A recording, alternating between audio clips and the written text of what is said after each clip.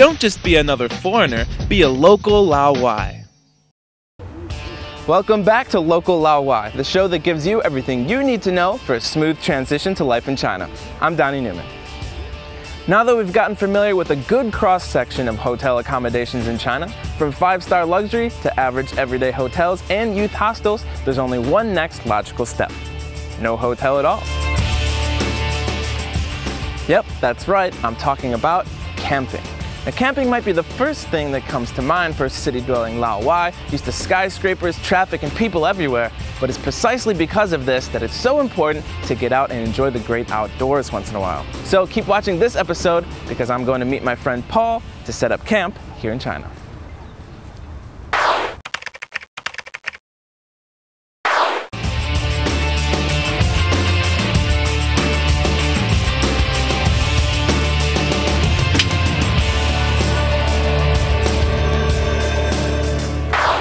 Theoretically, it doesn't take much to be able to go camping. You need a tent, cooler, some folding chairs, and lanterns, so you're good to go. Cooler, check. Tent, check. Folding chairs, check. Oh, lantern. Got it. Check. And larger cities will have camping supply stores where you'll be able to pick all of this up.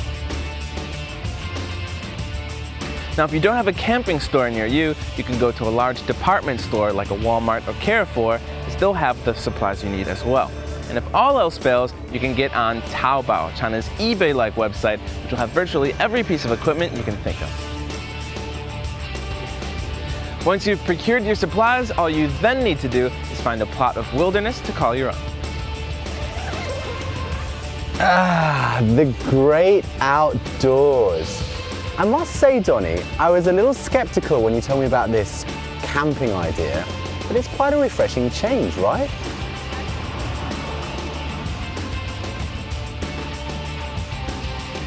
Yeah, I wouldn't exactly call this an escape. It might be hard for some foreigners to imagine a China that's not a sprawling urban metropolis, but it does exist. Simply take a bus or drive out of your city, find a nice village backstreet, and do some exploring. The problem with camping off the beaten path, however, is its questionable legality. No security guard or Bao'an is going to pass up the chance to get some camping foreigners off the property under his watch. Add to that the issue of safety and some other camping options start to become much more attractive.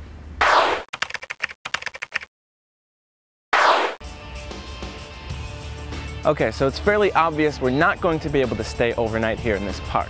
But if you want a camping experience without having to worry about breaking the rules, you could always go to a designated campsite.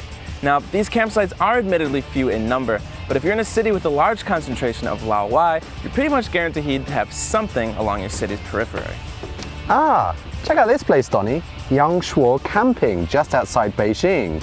It's got a campsite, it's got uh, RV hookups, it's got hot showers. Wow, check out these pictures. It's beautiful, isn't it? It's at exactly a place like this where you can find a great balance between safety and the independence that comes with camping. Although with that independence comes the responsibility to prepare your own food and supplies beforehand. Ah, I guess I forgot to bring my own food out here. I think I want a strawberry Twizzler.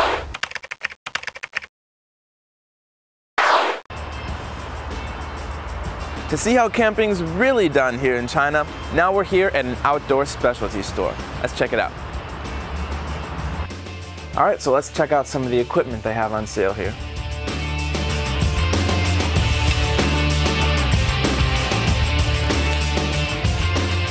Hmm. This stuff's all pretty cool, but I really don't know what the differences are. Time to get some expert advice.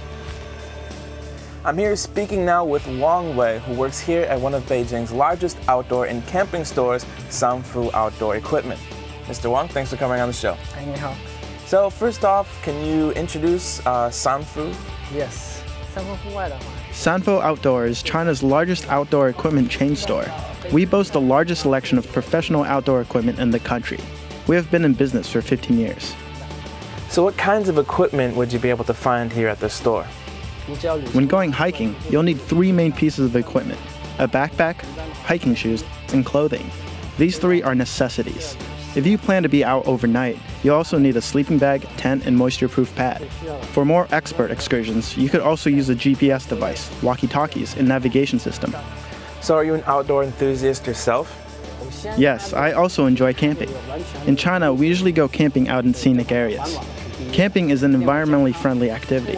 Conservation always comes first. It's not only good exercise, but also a wonderful experience for body and mind.